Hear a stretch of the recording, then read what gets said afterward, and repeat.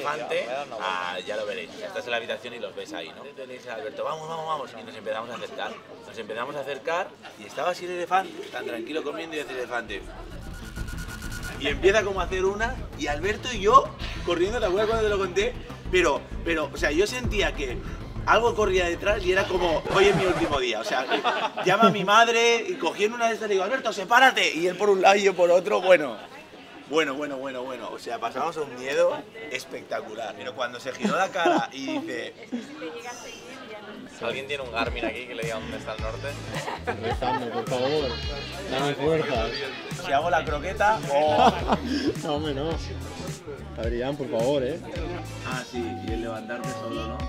نذكر السادة المسافرين بأن Pasada, بوابات siempre es que lo الخروج tienes todo con esta mujer, ¿eh? Una movilidad, tío, ¿dónde hay una Yolanda para mí, por favor?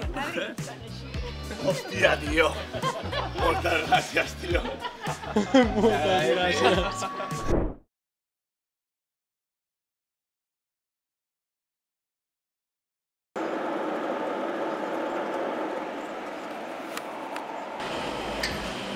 Ya estamos.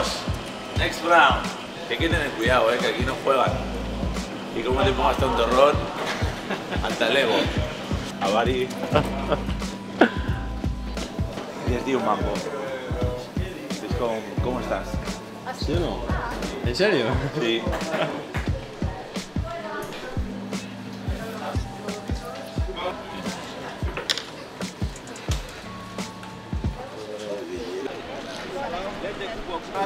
O sea, es brutal. Hakuna Matata. Pole pole. Jambo. Jambo bwana. Zanzibar yetu.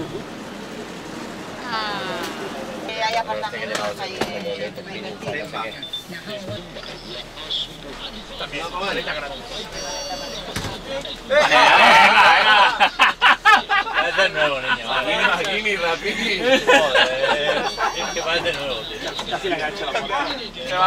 Y encima aquí te meten unas hostias, que esto es puro hierro, tío. ¿Por qué no funcionaban los TPV para pagar las visas? Porque yo ahí me han surgido problemas. El viejo truco. Pasa mucho, pasa mucho. Dice, no, no, pero te lo dice flojito, te has fijado, te dice, no, no, only cash. Tienes que pensar que la gente está acostumbrada aquí a ganarse la vida, por eso que yo no es que sea racista, es que cuando vienes a estos países te das cuenta en el modo en el que viven, que es un modo de supervivencia. Claro, si tú coges ahora un tanzano o un marroquí y lo metes en España, pues él no entiende que las cosas no funcionan igual. Aquí una persona, bueno, una persona, una familia come por 150 euros, 200 al mes con la nómina. Entonces, la diferencia heavy. Por eso, este, cuando, cuando viajáis, yo creo que el viajar te da muchísimo, muchísima, muchísimo conocimiento, ¿no? Que ves diferentes culturas, de cómo funciona el mundo, etcétera. Y vienes aquí y te das cuenta que es imposible que se integren allí. Pero en todo, en el método de trabajar, en- o sea, es un proceso. No puedes meterlo ahí mañana que no, hay que hacer una reeducación de, de cómo funciona. Igual que si vosotros venís aquí, ya lo veréis. O sea, cuesta habituarse, cuesta habituarse, te pones negro, te pones negro porque eh, le dices ahora una cosa y de veras llama a 8 para ponerse de acuerdo y es como si hiciesen una reunión de, la, de filmar la pipa de la paz para una cosa tonta que sería un pim pam para nosotros. Pero ellos viven chill, ¿sabes? Tranquilos, no estrés. Hostia, ya acabé jodido por lo del. Haciendo ahí de director de la obra cuando me engancharon estos. Acabé jodido que te diga Jordi, hemos tenido muchas muchas peleas porque me superaba la paciencia, ¿eh? Y yo tengo mucha paciencia. Pero había momentos que digo, es que lo estás haciendo tan mal a propósito. Es que es imposible que, te- que es imposible que lo hayas empezado a hacer tan mal. Es imposible. ¿Sabes? Y claro, cuando tienes 70 tíos currando para controlar 70 personas, así me lleva la vida. Aquí vais a ver mucha seguridad. O sea, mucha tranquilidad. Podrás andar solo y no va a pasar nada. Si no te metes en un barrio chungo chungo, yo me he ido estando en restaurantes dejando el móvil y el ordenador ahí, me voy al baño, vuelvo y sigue todo ahí. A ver, me da un poco de miedo. ¿Qué ¿eh? drogas y tal aquí? ¿Qué? ¿Nada? Se fuman sus cuatro canutillos para pasar de los pobres su amargura, pero no vas a ver. Te das más, más cuenta de la realidad de drogas allí que aquí. O sea, Tanzania versus España, ¿qué dirías? Nivel de seguridad y todo esto. Yo en Barcelona ya no dejo el teléfono encima de la mesa. O sea, esto es impensable. En Andorra sí, pero en Barcelona no.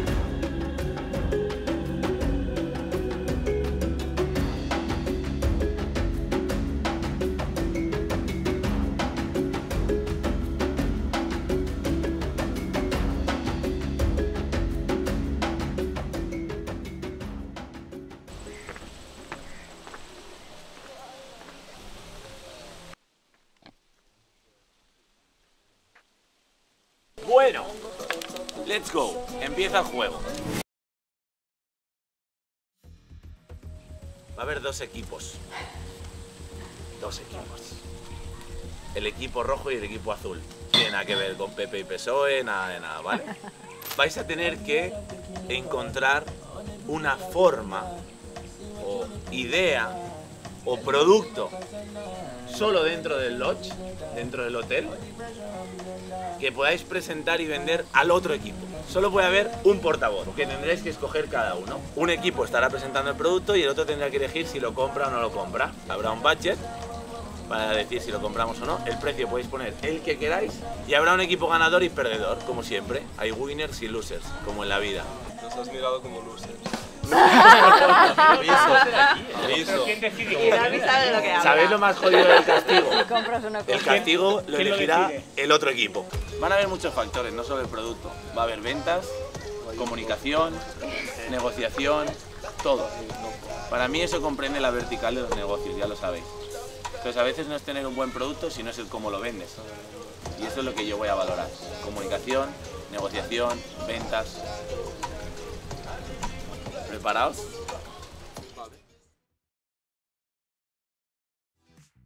Piensa en tu cliente potencial, ¿eh? Tienes que hacer una oferta irresistible para que te lo compre hoy.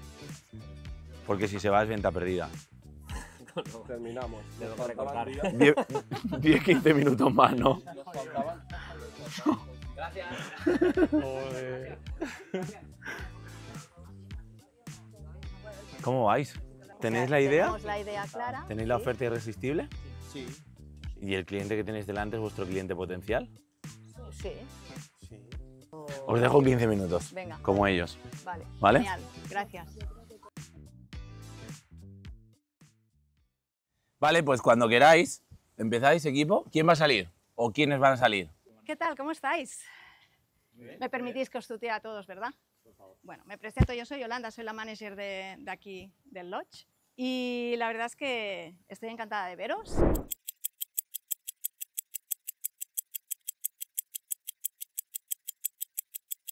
estamos trabajando con una chica que se dedica a hacer retiros espirituales. Bueno, lo tenemos ya cerrado. Queremos ofrecer por las mañanas yoga y meditación. ¿Qué te parece? Y a partir de mayo vamos a introducir sesiones de yoga y meditación y por la tarde, para aquellos que también quieran un poquito de actividad, vamos a ofrecer unas actividades aquí, en el agua, ¿eh? por supuesto. El calor este, cualquiera se pone aquí a hacer, nada. Unos bailes, unas actividades típicas aquí africanas. ¿Qué me diríais si en el precio os incluimos una actividad premium, como ir al gimnasio, un gimnasio como los que tienes allí en, en Barcelona, watts, media hora de masaje, un tour para ir a ver los delfines o una actividad de snorkel? ¿Qué me decís? Top, aplauso. Yo me presento, yo soy Damián, encantado. ¿Tu nombre? Miriam. Encantado, Miriam. Jordi, ahí tu nombre. Yolanda. Encantado. Encantado. ¿Tu nombre? Adrián, hoy.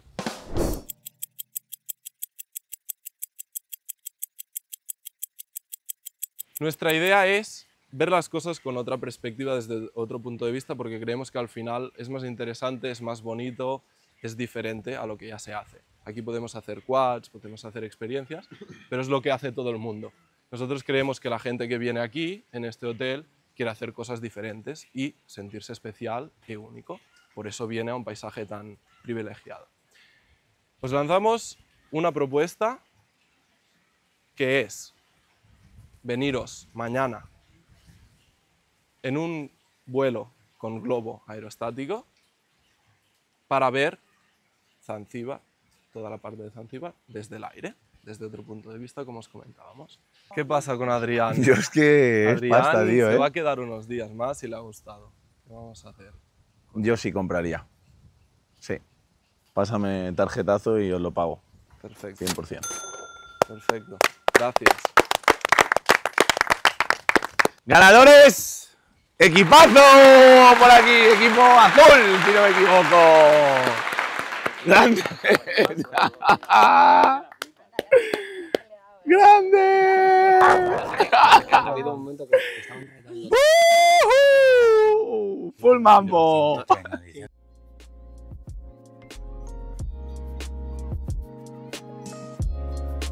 Let's go. Ready or not? Yes. Vamos. Ready? Ready, ready. I born ready. I born. Yeah, born ready. Jambo. Habari.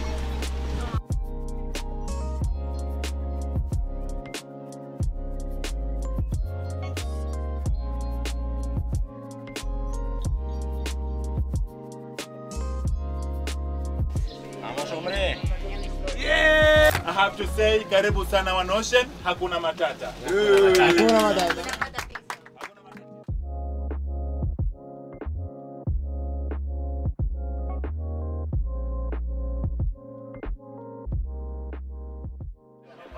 Quien compró en pandemia, tío. Pero cualquier cosa. Y en Andorra, tío, pisos que valen ahora 300.000, valían 60.000. La gente decía, ¿quién va a subir allí? ¿Qui- Esto ya se ha acabado. Mira, en plan, en plan la muerte, ¿no? Bueno, la siguiente vez cuando vas con Hoteles, tío, hoteles tirados. Bueno, hoteles que me llegan a mí que no han, que no han salido de la pandemia ya.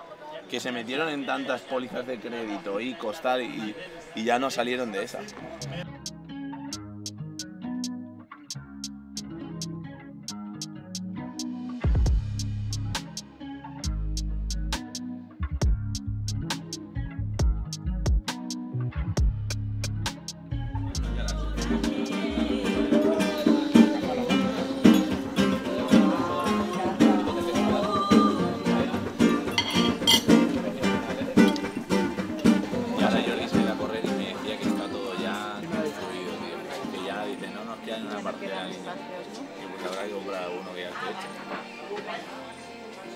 Más fácil, te ahorras problemas.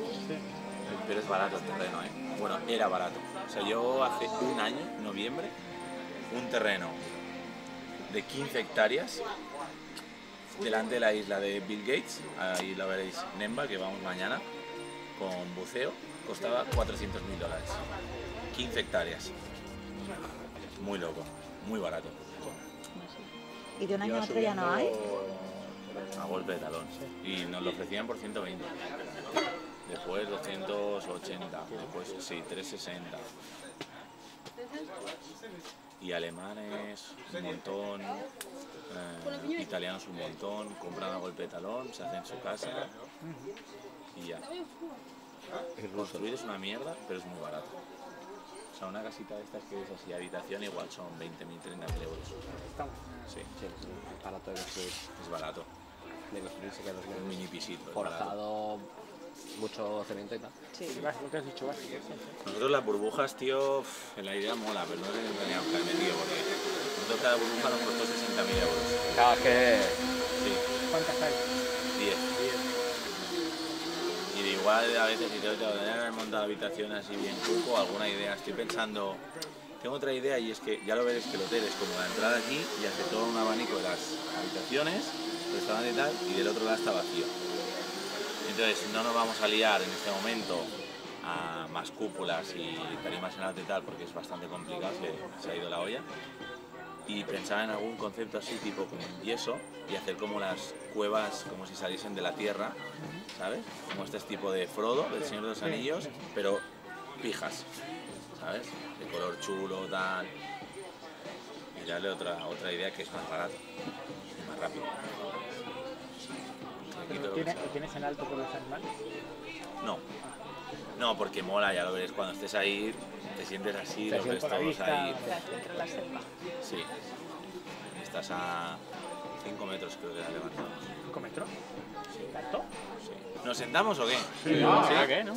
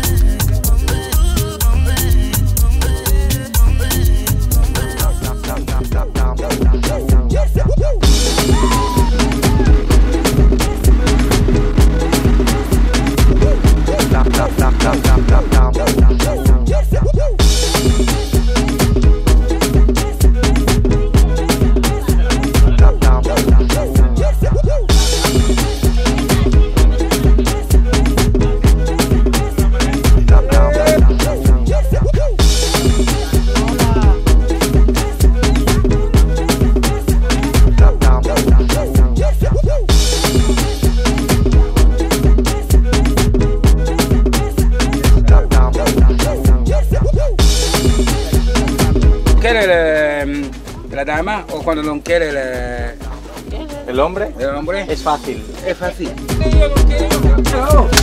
A casa.